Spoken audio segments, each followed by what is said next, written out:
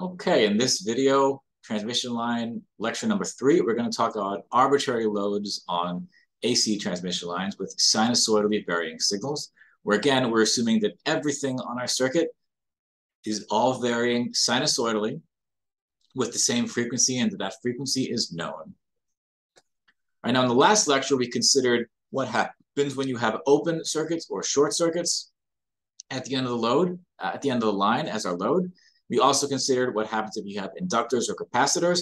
In this circuit, we're going to expand to arbitrary loads, which um, basically means any combination of resistors and inductors and uh, capacitors that are, that are on the load.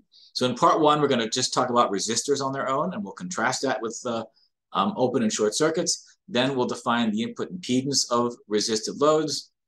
And then in part three, we're going to generalize to arbitrary loads that have some combination and we'll talk about different techniques for impedance matching uh, for situations where you, you don't want to have any reflections coming back to a, um, to a source. All right, so let me begin by uh, uh, reintroducing a concept that we call the standing wave. And the standing wave simply means that we have a wave moving in this direction. And in this case, we're going to have the phasor value as a function of z, right? So this is the phasor value of this wave that's moving in the positive direction. And this will be equal to uh, some constant value, which I'm going to write as v positive, and as zero to indicate that that's the phasor value at z equals zero. And the way we adapt that phasor uh, as you go to different locations of z is simply by multiplying it by e to the minus j beta z. Beta was the wave number, it's 2 pi over lambda. It simply tells us that if you move uh, one meter, how much has the phase changed if you have two points here that are separated by a meter? Then what is the phase shift between points A and B? Works out to be beta times Z. All right, so that's the positive. Uh, there is another negative going wave on top of this that may or may not exist. This will equal to V0 negative as tilde and e to the positive j beta z because it's moving in the positive direction. Because, sorry, because it's moving in the negative direction, we have a positive sign in that complex exponential. All right. Now, a standing wave is when you have a positive and negative going wave superimposed on top of each other. So this would be V as a phasor as a function of Z will be the sum of those two. V positive zero of E to the minus j beta z, and that's a phasor, plus v0 negative constant value times e to the minus j, sorry, plus j beta z.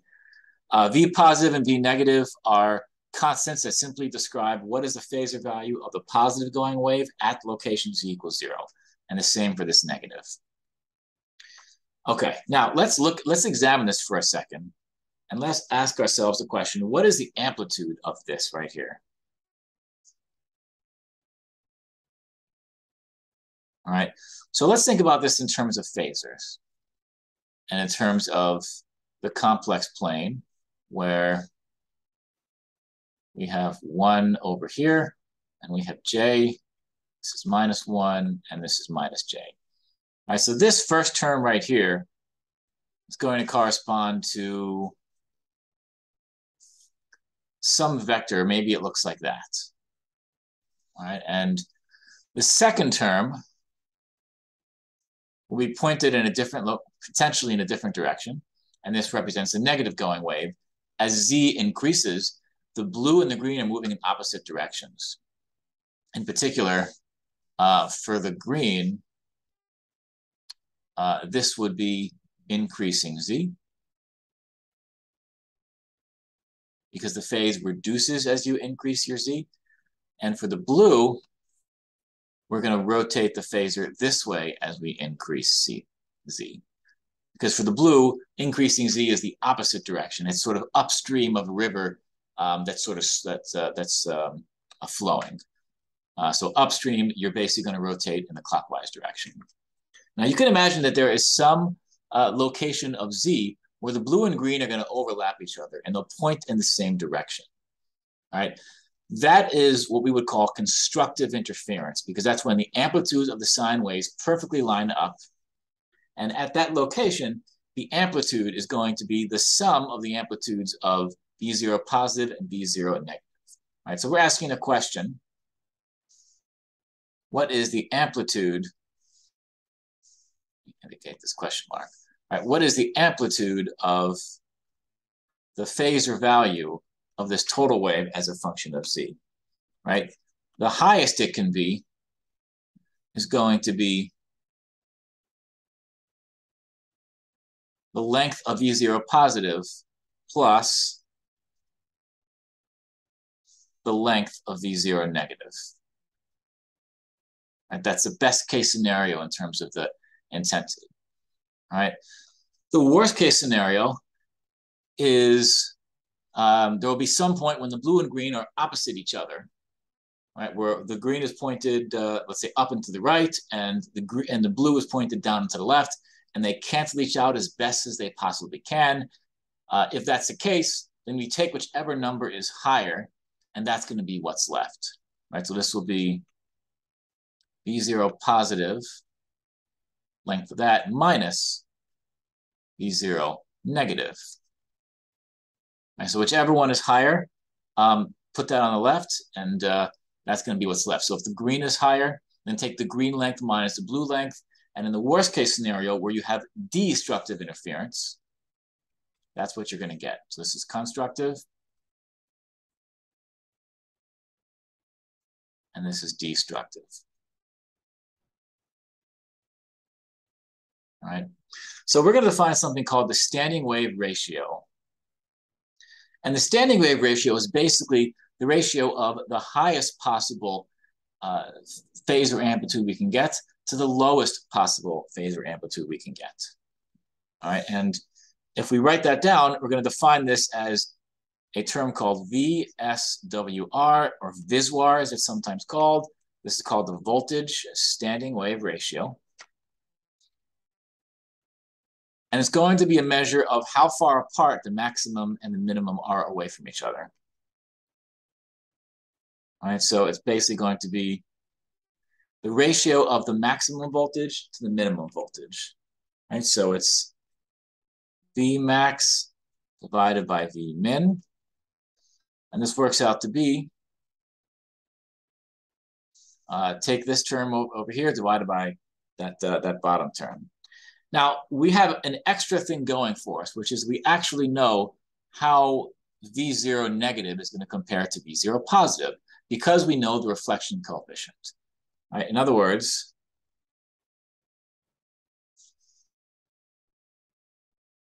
V0 negative, the intensity or the amplitude of V0 negative will be equal to the magnitude of the reflection coefficient times V0 positive as a phasor.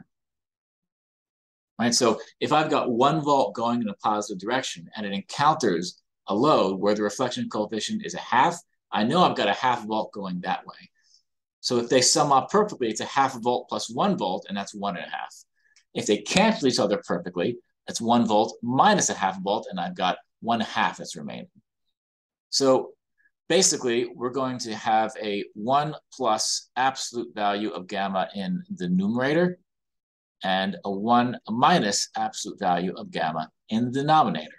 Right? This is going to be our definition of the voltage standing wave ratio. And this is gamma L because it's the reflection coefficient at the load. what it basically tells us is, let's do a couple sanity checks. All right. If the reflection coefficient is zero, right? Let's say the load is perfectly matched to the line. If the reflection coefficient is zero,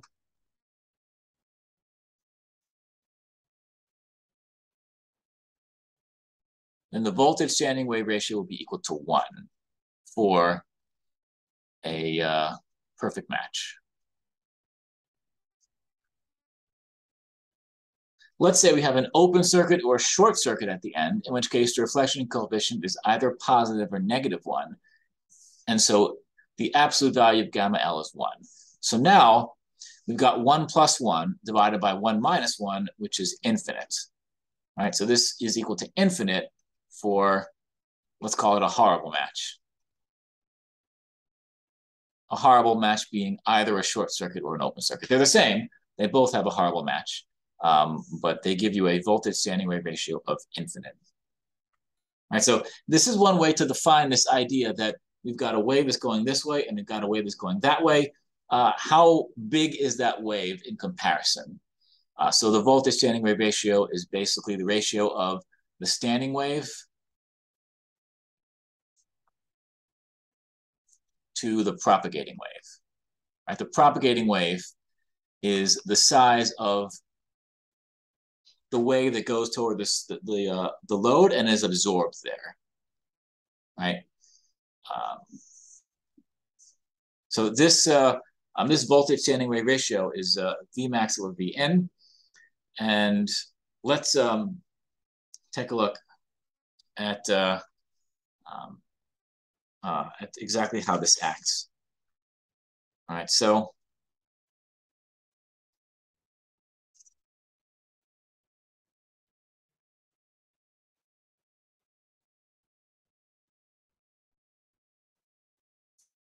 So I want to, I want, let's consider the following situation sort of qualitatively. We have a transmission line that has a 50 ohm load, sorry, a 50 ohm intrinsic impedance, and it ends with a resistor that's 100 ohms. Okay. Now this is a scenario where we're going to get some reflection at the uh, load, right? There's going to be a non-zero gamma L, but it's only going to be a partial reflection. Some of the voltage is going to basically stick and be dissipated by that load.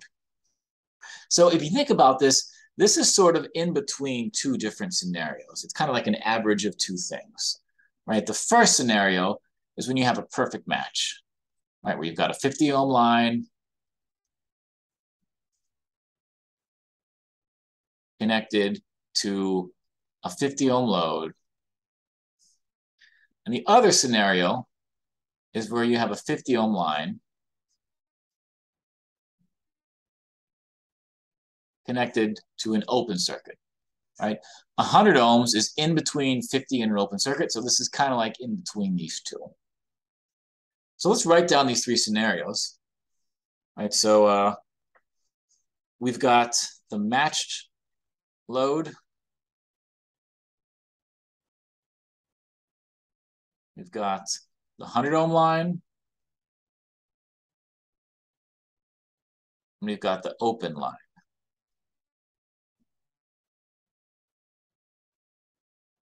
All right.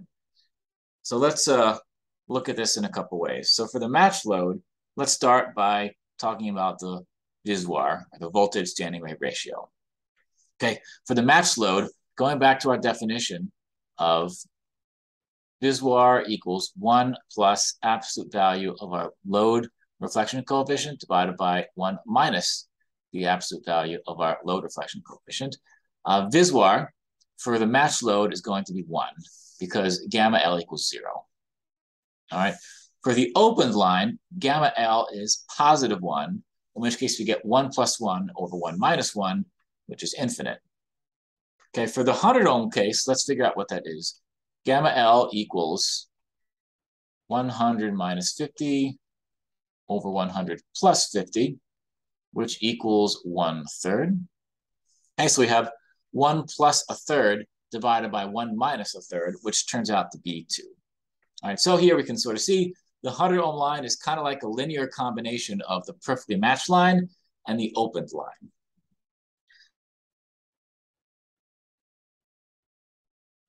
All right. So let's kind of take a look at what this looks like with WinTLS. All right, I'm going to start by making my voltage source into a sine wave. And I'm going to make our load into an open circuit, sorry, a short circuit.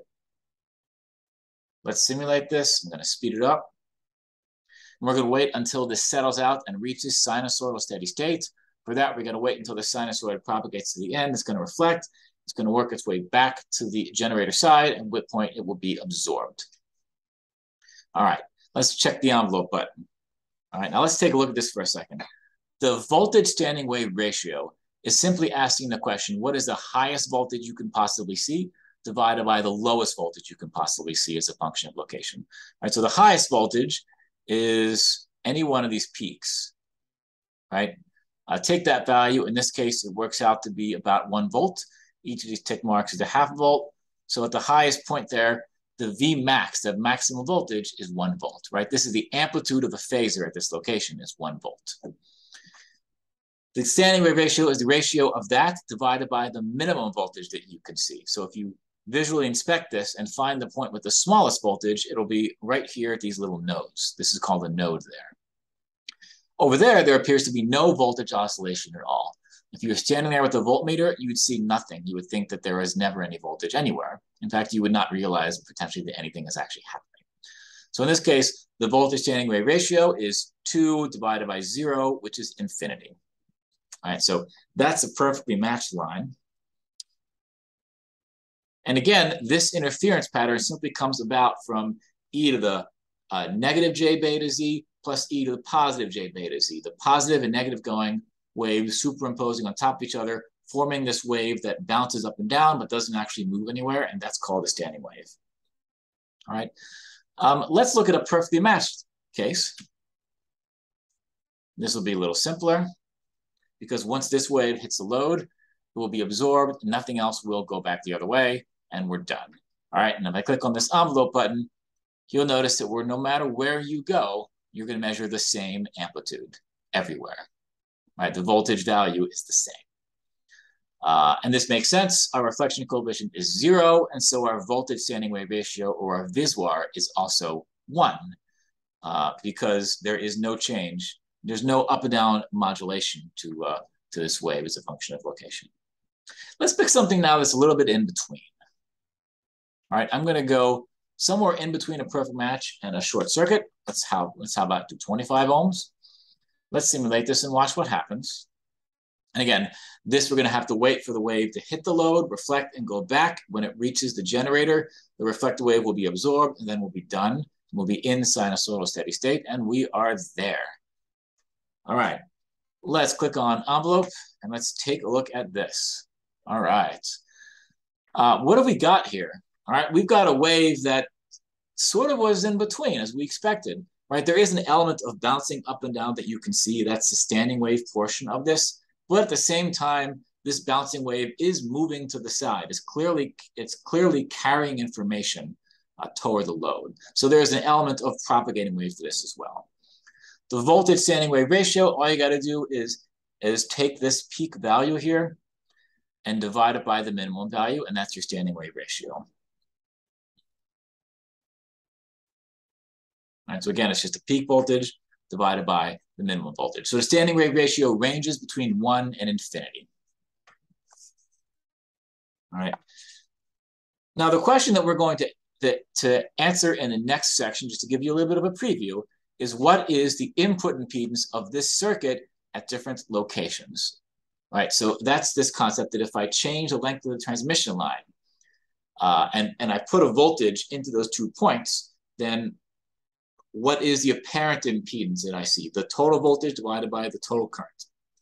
And we can take a guess that it's going to vary as a function of length. And to see that, I'm going to click briefly on current. So you see that the current and voltage are acting pretty differently and have kind of a different pattern to it. So the input impedance is going to vary as a function of length. And in the next lecture video, we will quantify that precisely.